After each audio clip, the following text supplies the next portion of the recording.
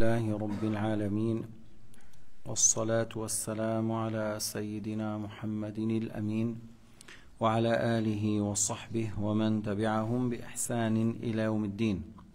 روى البيهقي عن أم الدرداء عن أبي الدرداء قال قال رسول الله صلى الله عليه وسلم من أصبح معافا في بدنه آمنا في سربه عنده قوت يومه فقد فكأنما حيزت له الدنيا.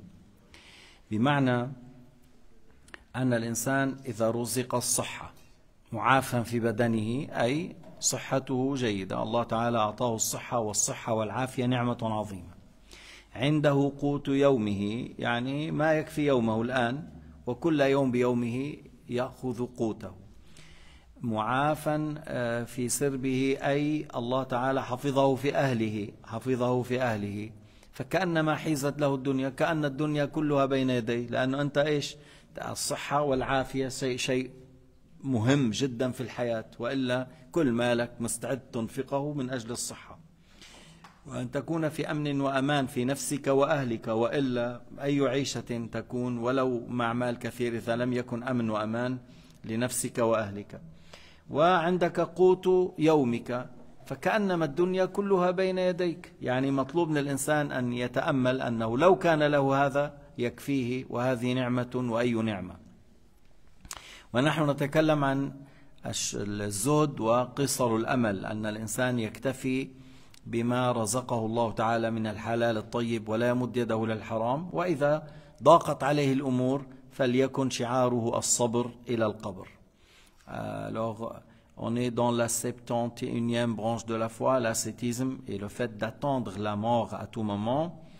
Euh, et on a rapporté le hadith de Abid al-Bayhaqi, l'a cité avec une chaîne jusqu'au Abu Darda, qui a dit que le messager de Dieu wassalam, a dit c'est lui qui se lève le matin en ayant de la bonne santé et il est en sécurité, lui et sa famille, et il a la pourvoyance pour ce jour.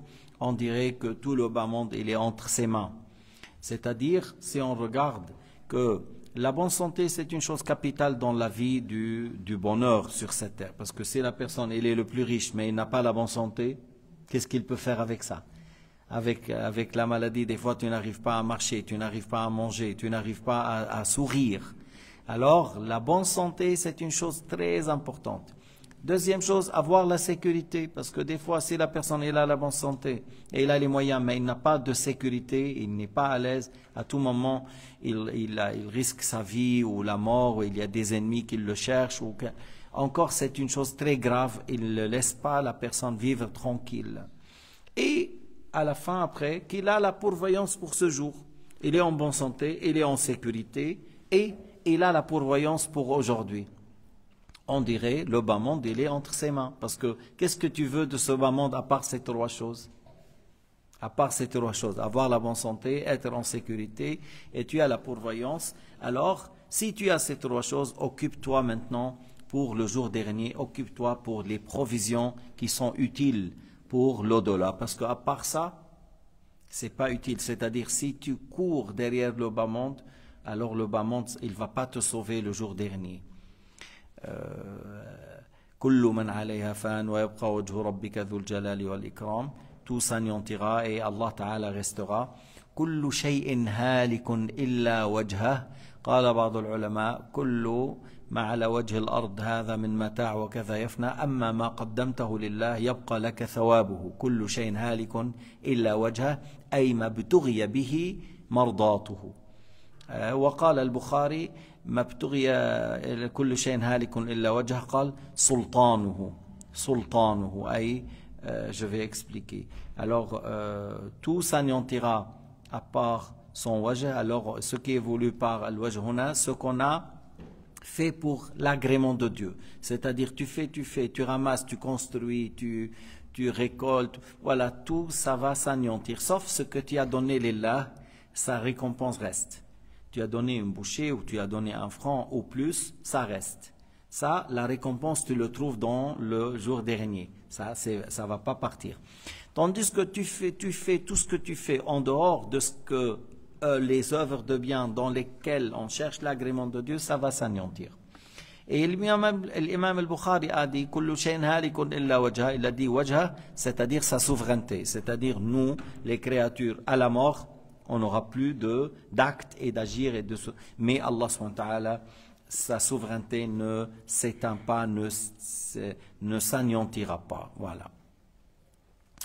وعن ابن عمر قال قال رسول الله صلى الله عليه وسلم ابن آدم عندك ما يكفيك وأنت تطلب ما يطغيك ابن آدم لا بقليل تقنع ولا بكثير تشبع ابن آدم إذا أصبحت معافا في جسدك آمنا في سربك عندك قوت يومك فعلى الدنيا العفاء Alors le hadith, on l'a rapporté encore, le Bayhaqi, par une chaîne jusqu'à Ibn Omar, avec d'autres choses en plus, que Ibn Omar a dit que Sayyidina Muhammad a dit, fils de Adam, tu as tout ce que, tu as ta subsistance, tu as ce qui suffit à tes besoins, mais toi tu cherches ce qui te ramène à l'égarement ou à dépasser les limites. Tu veux aller plus loin pour tomber dans le haram, ce qui te ramène des fois à la désobéissance. Ô fils de Adam, tu n'es pas satisfait par le peu et la grande quantité de nourriture ne te donne, ne, te, ne te, met, mm, ne te fait pas rassasier. C'est-à-dire, le peu, avec le peu, tu n'es pas satisfait. Avec le beaucoup encore, tu n'es pas rassasié. C'est quoi cet état? C'est-à-dire, le peu, ah, tu n'es pas satisfait. Par beaucoup encore, tu n'es pas rassasié. C'est quoi cet état? Mais c'est le, le, cas de plusieurs personnes. بالقليل لا يقنع بالكثير لا يشبع يريد أكثر ابن آدم alors Allah, euh, Nabi alayhi salatu wassalam, il a dit, ô fils de Adam, euh, si tu te lèves le matin en ayant la bonne santé euh, par le corps et tu es en sécurité dans ta famille et tu as la, la, la subsistance et la pourvoyance pour ce jour, ne t'inquiète pas pour le bas monde et, et, tu peux la délaisser derrière le dos, tu peux la négliger. Si tu es en bonne santé, en sécurité, j'ai ma subsistance pour aujourd'hui. Parce que attendre demain, qui nous dit qu'on va vivre jusqu'au demain Qui va dire, qui peut garantir qu'on va rester un mois ou deux mois, ou une année ou deux ans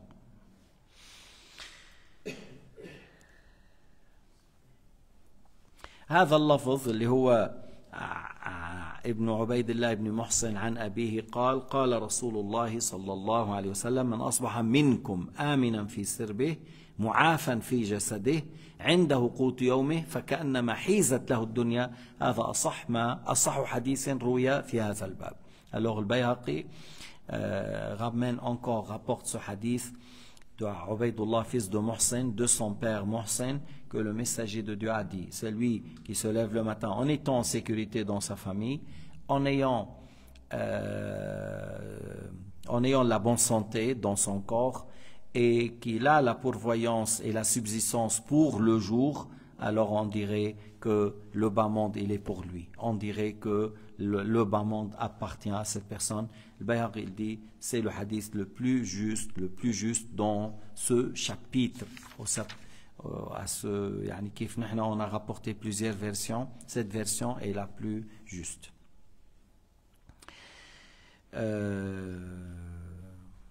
وعن عامر بن سعد أن أخاه عمر أتى إلى سعد في غنم عمر بن سعد تعرفوا سعد بن أبي وقاص وهذا عمر الذي قاد الجيش الذي قتل الحسين مهم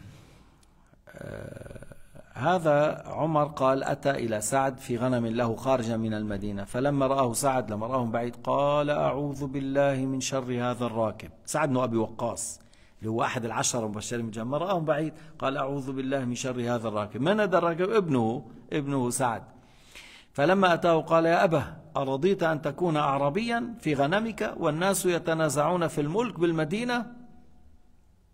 فضرب سعد صدر عمر وقال اسكت إني سمعت رسول الله صلى الله عليه وسلم يقول إن الله يحب العبد التقي الغني الخفي. رواه مسلم. هذا عمر هلا بحكي لكم قصته. alors on rapporte de Amir. Amir fils de Saad c'est le frère de Omar. Les deux fils de Saad ibn Abi Waqqas. Saad ibn Waqqas, c'est un parmi les grands compagnons, parmi les premiers qui ont embrassé l'islam, la première personne qui a tiré une, flash, une flèche fils Abilillah, un parmi les dix que le prophète leur a annoncé le paradis. Vraiment, c'est un grand homme. Et Omar, euh, Saad Waqqas, c'était parmi les gens, leur invocation est exaucée. Mujabud Da'wa, Saad ibn Abi Waqqas.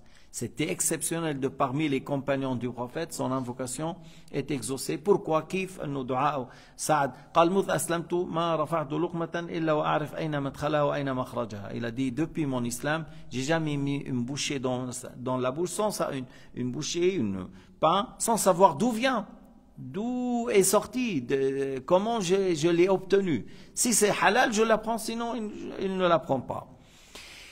Alors, Saad, à un certain moment, comme on a vu, les, les gens couraient derrière le pouvoir et la dunya, lui, il s'est éloigné un peu de Médine et il a pris un peu de moutons. Il était avec ses moutons, il s'occupe de ça.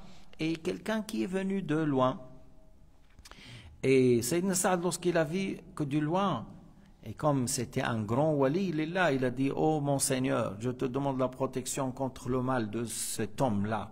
Et lorsqu'il est venu, c'était son fils Saad. Il lui dit, mon père, tu as accepté d'être bédouin, tu es avec tes moutons là, et les gens là, ils ont le pouvoir, ils ont les moyens. C'est un grand compagnon, tu mérites d'être un chef, un gouverneur, un mire pour une région. Il a dit, écoute, tais-toi. J'ai entendu le messager de Dieu dire, Allah a agréé le courroyant qui est, euh, qui est pieux et qui est euh, qui est satisfait, qui se satisfait al-Ghani, il voulait dire par ça, c'est lui qui a la satisfaction par le cœur et qui est caché, que les gens ne le connaissent pas. Et Omar, euh, Saad Abi Waqqas, il voulait toujours être comme ça, il voulait pas être séduit par le pouvoir et l'argent. Hadith rapporté par Muslim. هذا ابن عمر هذا أعطوه إمارة ils lui ont donné Bani Umayya ils lui ont donné Array, voilà, une grande région. Voilà, tu es l'amir pour la région Ray بلد بكامل. أنت الأمير, أنت الرئيس. Ok. فرح. Il est content, mais il veut ça. بعد ils lui ont donné, il faut prendre l'armée pour aller vers le Hussein qui est sorti. Tu vas le, le stopper, tu vas. قال لك هذا هذا الحسين قال له لا عفيني عمر il a, il a dit à Ubaidullah Mzad tu me laisse-moi tranquille de cette affaire trouve quelqu'un d'autre il lui a dit donne-nous le, le pacte de, de, de ta responsabilité comme nous on t'a donné désigné Amir donne-nous cet ordre-là tu n'es plus Amir et il a dit laisse-moi réfléchir لما قال له اعطينا الإمارة قال له laisse-moi réfléchir alors jusqu'au lendemain, je vais l'arrêter, c'est tout. Il est sorti dans l'intention de l'arrêter, l'arrêter, mais non, enfin, c'était pas arrêté, c'était lors de combattre jusqu'on a tué le Hussein, et c'était lui le chef de cette armée. شوف المصيبة منين اجت المصيبة من حب الرئاسة والزعامة بده الزعامة ما في مع الدنيا بدك الدين وهيدا الأمر tu veux la religion avec ça شوف وين وصل واحد تاني أنوتر وقع وقع عن السطح كذا إلى كاسي لي بيي. quelqu'un أو ميم أو ميم يعني بنفس الوقت ها il est tombé إلى كاسي لي بيي. واحد زاره وقال له خير إن شاء الله هذا خير لك دي سي ان بيان بور توا لك شو ان بيان كسرين إجري واللي تي مو دي ان بيان من بعد يجي الأمر اخرج على رأس الجيش لقتال الحسين. قال له شوف أنا مكسرين إجري. فطلع مزبوط إنه خير له Tu vois, il lui a donné l'ordre d'aller combattre Hussein. Il lui a dit, ouais, je suis, j'ai les pieds cassés, je ne peux pas me lever. Alors ils ont accepté, ils ont accepté de lui parce qu'il avait les pieds cassés. Alors l'autre, lorsque lui a dit, il a dit, c'est un bien pour toi. Et par la suite, c'était vrai, comme il a dit l'autre, qu'Allah Ta'ala lui a dévoilé que cela, ça va être un bien pour toi. Grâce à ça, tu ne vas pas sortir pour commettre une grande injustice en faire la guerre, en faisant la guerre derrière le petit-fils du prophète Muhammad.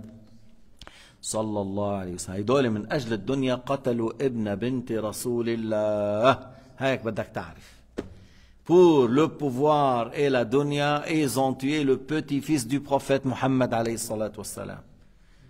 هل هذا شيء يرضي الله ابدا هل هذا شيء يحبه رسول الله ابدا من أجل الدنيا تقتلون أولاد ابنته لا حول ولا قوه الا بالله هذا خطر الملك هذا خطر الملك c'est ça le danger de pouvoir la personne elle est capable de commettre des crimes في ناس بيقتل اولاده وفي اولاد بيقتلوا ابوهم وفي كثير بيقتل اخوه à cause du pouvoir, pour le pouvoir, il y a des gens qui tuent les, ses fils, il y a des fils qui tuent leur père, et il y a certains qui tuent leurs frères pour le pouvoir.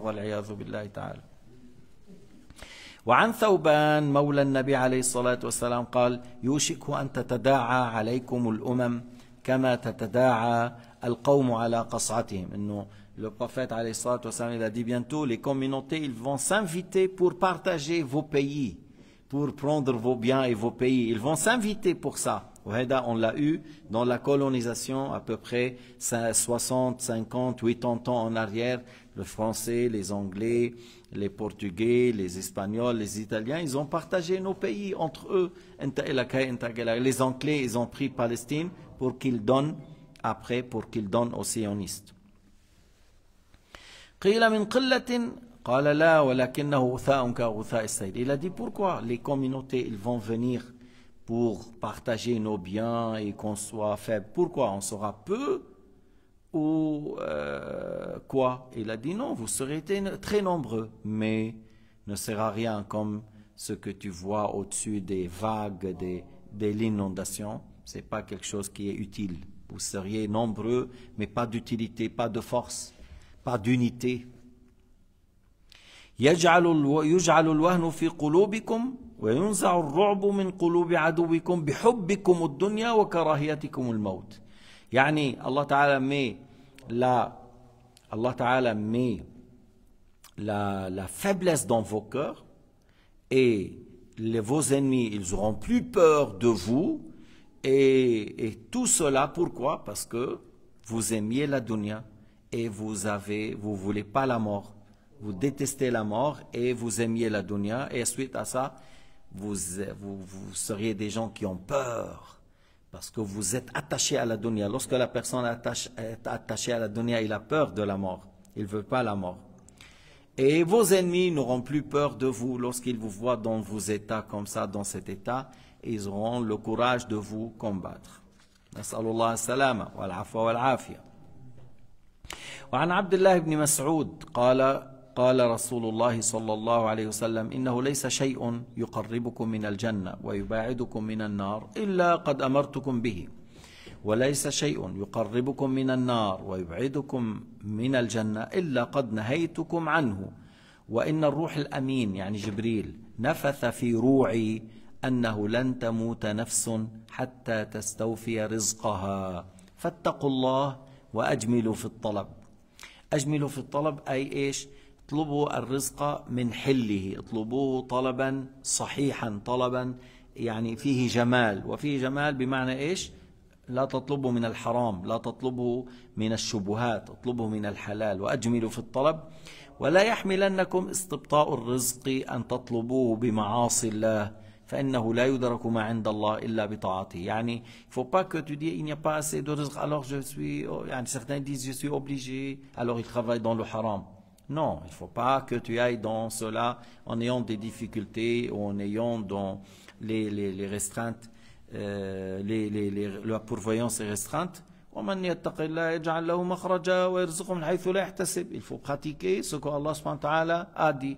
En ayant des difficultés et dans le besoin, tu patientes, tu résistes, Allah Ta'ala te donne une solution. Bref, le hadith de Abdullah ibn Mas'ud que Sayyidina Muhammad a dit il n'y a pas une chose qui vous approche du paradis et qui vous éloigne de l'enfer sans que je, je, vous, ai ordonné de le faire. Toute chose qui vous ramène au paradis, qui vous approche du paradis, qui vous éloigne de l'enfer, je vous ai ordonné de le faire.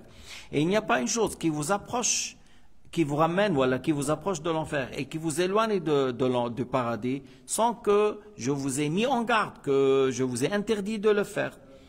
Et que L'ange Jibril m'a inspiré,